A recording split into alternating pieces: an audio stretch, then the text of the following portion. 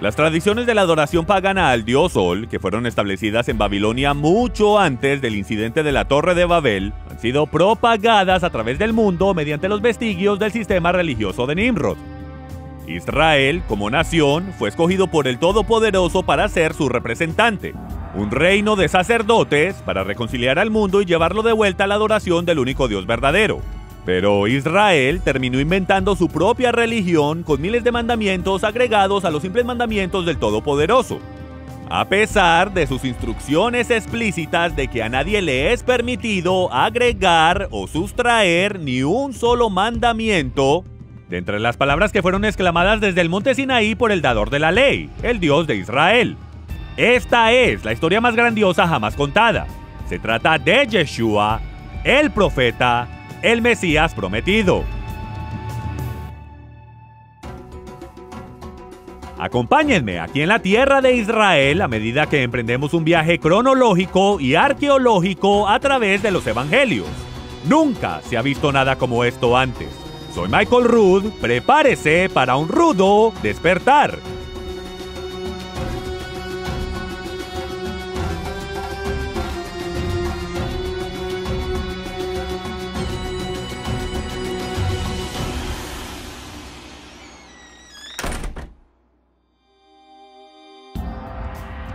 Tenía 17 años, estaba de pie en un campo de trigo que ondeaba cerca de mi casa en Michigan, predicando apasionadamente el sermón del monte ante una multitud imaginaria. Estaba intentando expresar las palabras de la versión King James de la Biblia en mi propio vocabulario, tratando de entender lo que Jesús decía a aquellos que subieron la montaña para escuchar su primera enseñanza registrada. Cuando llegué a la frase, el Evangelio del Reino, paré en seco. Me quedé mirando ese campo pensando, pero dándome cuenta de que realmente no entendía esas palabras. Sabía que Evangelio quería decir buenas noticias, pero no me ayudaba. Había leído esa frase cientos de veces, pero por primera vez en mi vida supe que el Evangelio del Reino era importante. Comencé la vida de la iglesia asistiendo a la iglesia bautista Calvary en Greenville, Michigan. Allí fue donde nací. Cuando estaba en el jardín de niños me gané una Biblia versión King James, como premio por haber traído más niños al campamento cristiano de verano. Mi madre llevó a un grupo de niños a quienes nunca antes había conocido en nuestra camioneta Chevy año 55. Ella era la verdadera evangelista, yo solo la acompañé en el viaje dentro del Chevy del 55. Yo estaba en segundo grado cuando me arrodillé en mi cama y con lágrimas en los ojos le pedí a Dios que me usara como su sirviente. Ese fue el día que le di mi corazón y mi vida a Jesús, y eso dio comienzo a la aventura en la que me encuentro hoy. Ese año mi padre entregó su vida a Dios. Más adelante se convirtió en superintendente de la escuela dominical y asistió al seminario bautista con el objetivo de aprender hebreo. Aunque mi abuelo y sus hermanos y hermanas nunca asistieron a la iglesia o sinagoga, la familia Ruth proviene de Holanda donde el abuelo de mi tatarabuelo, el cantor judío Angel Ruth, formó la primera sinagoga askenazi en su casa, en Ámsterdam. Pasaría casi una década antes de que yo comenzara a entender la importancia de mis raíces judías, a medida que me criaba en una iglesia gentil atendiendo seis servicios por semana. Cuando era un joven adolescente, competíamos contra otros grupos de otras iglesias en torneos bíblicos, que nos obligaban a memorizar cientos de versículos, incluso capítulos enteros de la Biblia. Fui criado como un judío bautista, completamente fuera de la religión de mis antepasados, pero hábilmente versado como un cristiano creyente en la Biblia. Como adolescente, la iglesia se tornó extremadamente aburrida. Me quedaba dormido durante los servicios, al igual que la mayoría de los diáconos y ancianos, pero a los 17 todo cambió. El hijo de mi maestra de escuela dominical se unió a los infantes de la Marina como voluntario en un helicóptero de evacuación médica. Denis quería ayudar a salvar vidas.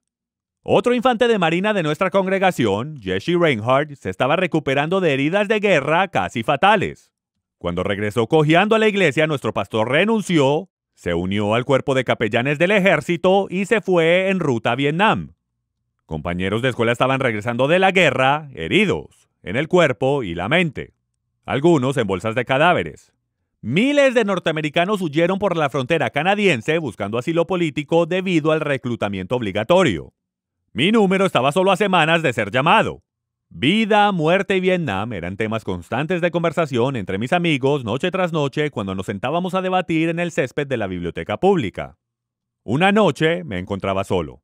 Mientras miraba al otro lado del césped de la biblioteca, vi palabras de fuego ardiendo frente a mí. Tu palabra es verdad. No era simplemente un versículo bíblico. Lo había memorizado años antes, pero ahora era una revelación que cambió mi vida. Comencé a leer libros enteros de la Biblia sin parar. Leía el guion de una historia la cual no había visto anteriormente. Era la historia más grandiosa jamás contada. Leí los hechos de los apóstoles y todo cambió. Esos creyentes del primer siglo no estaban contando historias pasadas acerca de Jesús. Estaban haciendo realmente lo que Él les instruyó que hicieran. Él dijo, enseñen las cosas que yo les he enseñado. Y estos seguidores judíos del Mesías judío lo estaban viviendo con señales, milagros y prodigios de los cuales nunca había sido testigo en mis 17 años de iglesia gentil. Sabía que de alguna manera, en algún lugar, el poder del Dios vivo tenía que ser evidente el día de hoy. Pero después de 17 años de reuniones de oración los miércoles, tuve que admitir que nunca había visto a una persona ser sanada milagrosamente. Hasta que me salí de la religión y comencé a buscar la verdad. Hice un compromiso potencialmente peligroso. Me bauticé en las aguas de un arroyo cercano y juré por el altar del Dios Todopoderoso que me colocaría en un lugar donde milagros pudieran ocurrir, donde los muertos pudieran ser resucitados. Me uní a los infantes de la Marina. Mi contrato garantizaba que iba a ser enviado a campamento de entrenamiento a Paris Island y de ahí entrenamiento avanzado de infantería en Camp Ellington. Luego esperaba que mi próxima parada fuera en Vietnam. Seis meses después, mientras esperaba órdenes, el comandante anunció que no más infantes de la Marina serían enviados a Vietnam. Esa interrupción de mi carrera militar facilitó la aventura en la cual continúo hasta este día.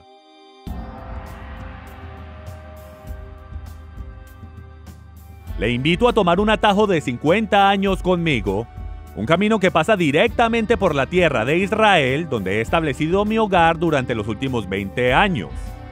Acompáñeme en esta travesía de descubrimiento si desea entender el verdadero evangelio del reino que Jesús y sus discípulos enseñaron aquí en Galilea.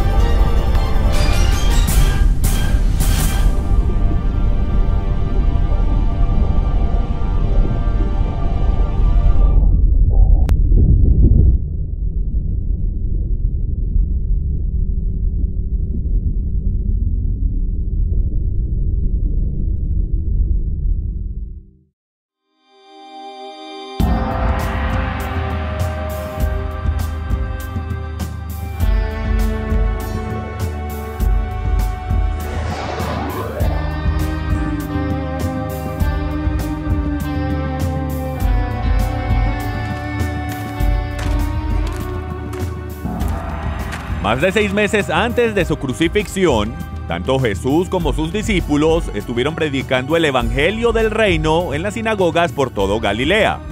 El Evangelio que enseñaron no tenía nada que ver con su crucifixión o resurrección. Pero la tradición ha hecho oídos sordos ante lo que Jesús dijo e hizo, en diferencia injustificada a las historias imaginarias que han sido creadas por hombres. ¿De dónde obtenemos la idea de tres reyes magos siguiendo una estrella por el desierto que los llevó hasta el pesebre de Belén, justo a tiempo para presentar regalos al niño Jesús en la noche en que nació? No está en la Biblia. De hecho, toda la escena de la Natividad que heredamos en el mundo occidental está en contradicción directa al registro del Evangelio. Esa tradición solo puede ser hallada en las páginas iniciales del libro Ben Hur, una novela escrita por el general de guerra civil norteamericana Lou Wallace. Ben Hur fue la novela más vendida en Norteamérica por más de 50 años, superada solo por la versión King James de la Biblia. Tanto alcance tuvo la novela de Wallace, que incluso las escenas del pesebre de madera de olivo, producidas por los árabes en Belén, presentan a tres reyes magos en el pesebre, cuando la Biblia cuenta una historia diferente. Si usted desea creer en Campanita, el ratón Pérez, el conejo de la Pascua o San Nicolás, le recomiendo que cambie el canal. He estado en búsqueda de la verdad por más de 50 años, no estoy interesado en proteger tradiciones erróneas. ¿Qué decir el 31 de octubre, el Día de Todos los Santos? Este era originalmente el día de Samhain, el dios de la muerte. Aun cuando las escrituras prohíben estrictamente la adopción de prácticas paganas y renombrarlas para que cumplan un propósito supuestamente espiritual, Roma cristianizó este día dedicado a la muerte al cambiar el nombre Samhain por Víspera de Todos los Santos, el cual se convirtió en el día más comúnmente conocido como Halloween o Hollyween, Santo Dios de la Muerte. En estos tiempos podemos ver cuán cristiana se ha tornado esta celebración, es una ilustración viva del por qué Dios dio mandamientos tan específicos con respecto a la adopción del paganismo. En Deuteronomio 12:30, Moisés instruyó, Cuídate de no caer en una trampa imitando las prácticas de las naciones paganas, y de no buscar sus dioses diciendo, ¿Cómo servían estas naciones a sus dioses para que yo haga lo mismo? No procederás así para con Jehová tu Dios, porque toda acción abominable que Jehová odia, ellos la han hecho en honor a sus dioses. ¿Y qué hay con el viernes de Dagón? El día en que el dios pescado asirio es adorado. Es por eso que crecí comiendo pescado todos los viernes en la escuela pública de Michigan. Y el domingo de resurrección, cuando Semiramis, la esposa de Nimrod, fue proclamada reina del cielo por los dioses y enviada a la tierra en un huevo gigante el primer domingo después del equinoccio de primavera, el cual cayó en el río Éufrates, se abrió y de él emergió Semiramis, reencarnada como Ishtar, la diosa del sexo de pecho desnudo, quien para demostrar su divinidad convirtió a un pájaro en un conejo que pone huevos. Porque las religiones romanas lamentan la muerte de Jesús el viernes de Dagón, el dios pescado, y celebran su resurrección el domingo de Ishtar, la diosa del sexo. Jesús era judío, no babilónico. Mi Biblia dice que fue en la Pascua hebrea, cuando el Cordero de Dios fue sacrificado, y en Yom HaBikurim, el día en que los primeros frutos eran cosechados de la tierra. ¿Y el 25 de diciembre, el nacimiento de Jesús? El 25 de diciembre era el solsticio del invierno en el antiguo calendario babilónico que marcaba la reencarnación de Nimrod como el bebito Tamuz. ¿Recuerdan el registro en el capítulo 8 de Ezequiel? Mujeres llorando por Tamuz. Esto era una abominación que tomaba lugar en el templo que el profeta denunció como un hedor en la nariz del Todopoderoso. ¿Por qué se dice que todos los dioses paganos del sol nacieron el 25 de diciembre? Porque Constantino declaró esta fecha como el día en que Jesús nació. La profecía más repetida en todas las escrituras es la profecía sobre Jesús. Él dijo que solamente habría una, una sola señal de su autenticidad. Solo una señal de que él era el profeta del cual Moisés profetizó. Una señal de que él era el Mesías, el cual eventualmente se sentaría en el trono de su padre David y gobernaría toda la tierra. Esta sería la señal del profeta Jonás. Tal como Jonás estuvo tres días y tres noches en el estómago del gran pez, asimismo Jesús profetizó que él estaría en el sepulcro tres días y tres noches y resucitaría al tercer día. Sin embargo, hemos heredado innumerables tradiciones paganas relacionadas con el Viernes Santo de Dagón y el Domingo de Reencarnación de Ishtar. Damas y caballeros, Einstein no pudo obtener tres días y tres noches entre el viernes de Dagón y el domingo de Ishtar. Pero debido a nuestras tradiciones heredadas, arraigadas al culto babilónico del sol, ni siquiera podemos contar hasta tres para verificar la única y verdadera señal del verdadero Mesías. Algo anda mal con nuestros sistemas religiosos paganos o hay algo terriblemente errado con la Biblia.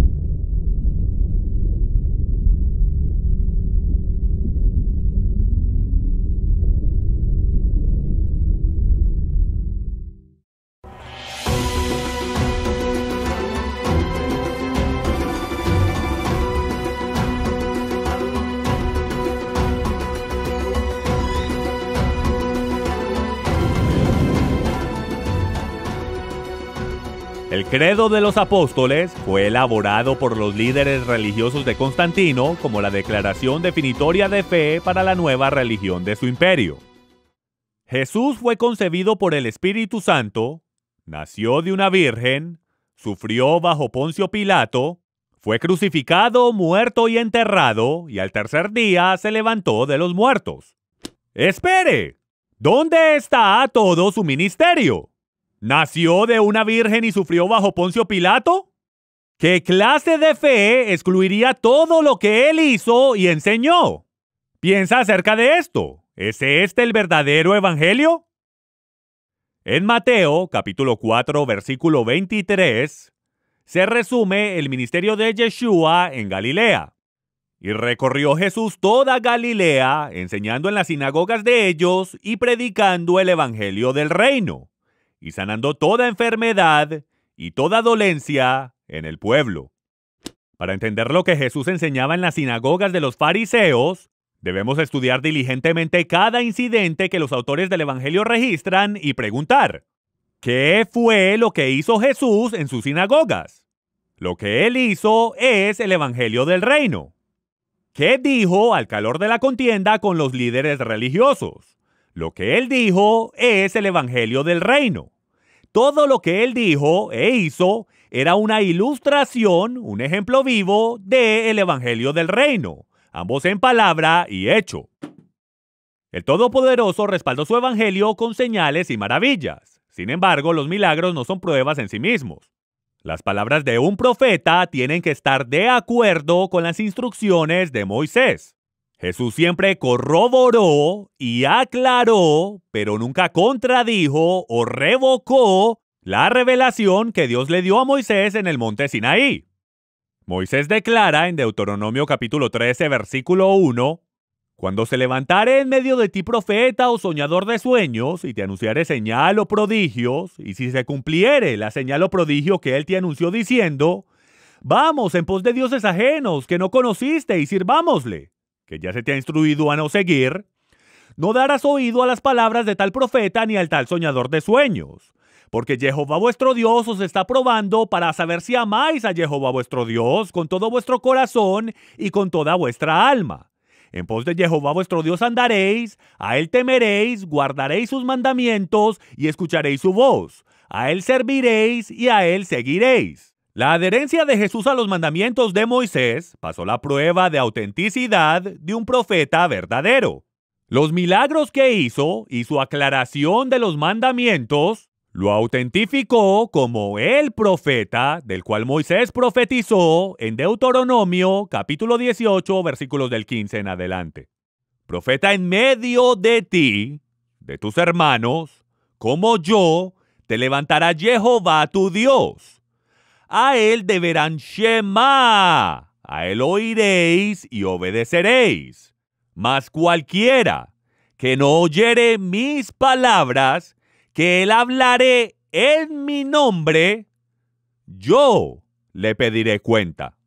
De todas las palabras registradas en las escrituras, aquellas a las que debemos estar particularmente más atentos y ser obedientes, son las palabras que son sin duda alguna las más importantes de traducir correctamente. Y esas son las palabras del profeta al cual debemos escuchar y obedecer.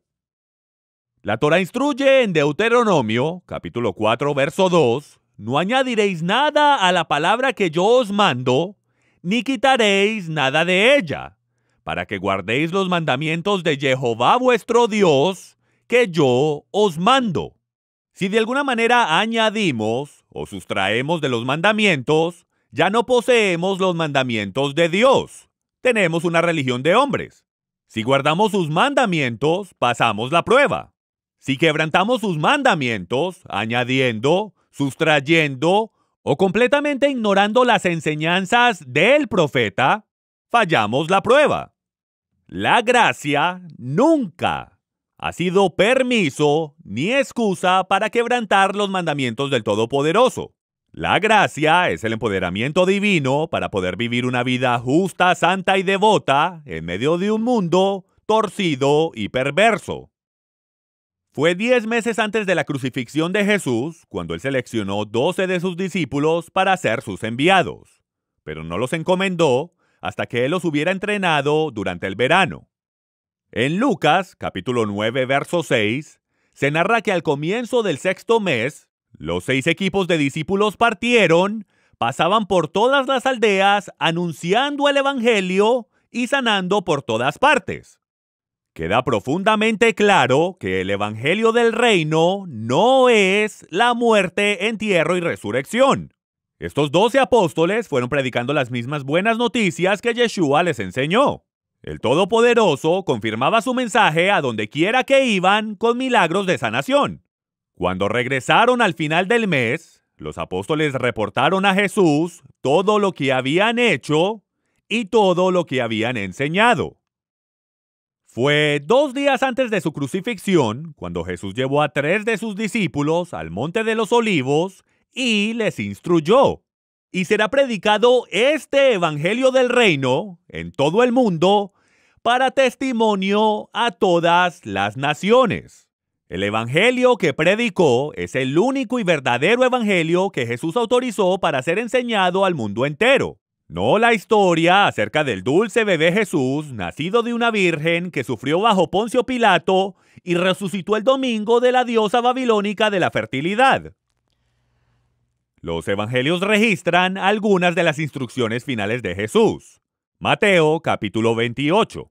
Por tanto, id y haced discípulos a todas las naciones, enseñándoles que guarden todas las cosas que os he mandado. Marcos Id por todo el mundo y predicar el Evangelio a toda criatura. El que creyere y fuere bautizado será salvo.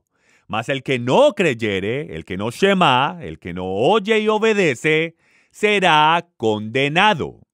Y Lucas en Hechos. Pero recibiréis poder cuando haya venido sobre vosotros el Espíritu Santo, y me seréis testigos en Jerusalén, en toda Judea, en Samaria y hasta lo último de la tierra.